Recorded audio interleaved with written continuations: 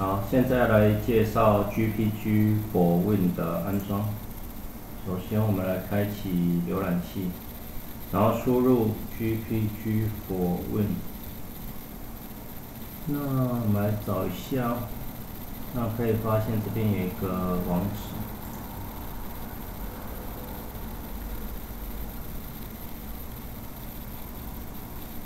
好，找到之后，这边就有一个 download GPG for，所以这个大概要找一下。那它最新的版本是三点零，是蛮新的，九月二十号。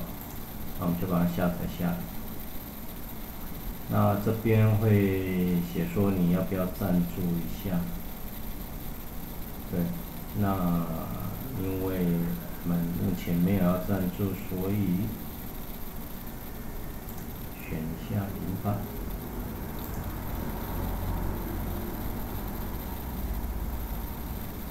啊，如果你觉得用的好用的话，也可以按一下赞助了啊。那它就要开始下载了。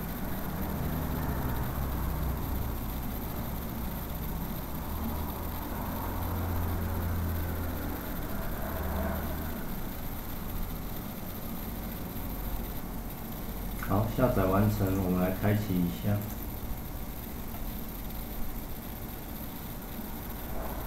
那我们直接按右键，以系统管理员身份执行来安装。啊是。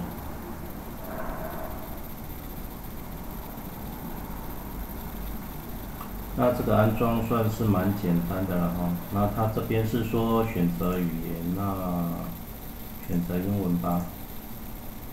嗯，好像目前没有看到，这里没有看到中文，所以就选英文吧。好，那他说欢迎来安装，那原则上都是按下一步就可以了。好，那这个 GPA 到底要不要装，随便你。那我们假设我们为了以后如果万一要用到的话，会比较又要重装一次，所以我们全部都给他选安装，那预设位置就好。就会开始安装了，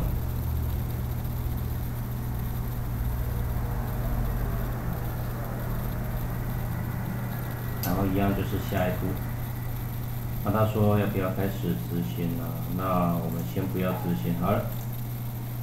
OK，那从头到尾这就算是安装完毕。那安装完的时候是呃桌面会产生两个，那通常我们比较常用的是这个底下这个 KLE。